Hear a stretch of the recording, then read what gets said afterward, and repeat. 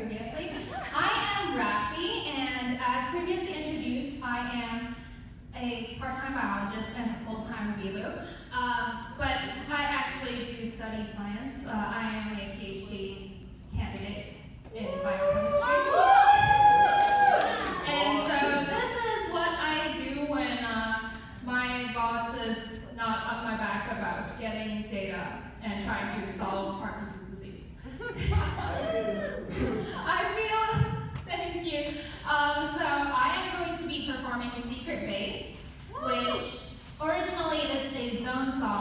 2001, but then 10 years later in 2011, um, a very familiar anime called Anohana used that as their ending song.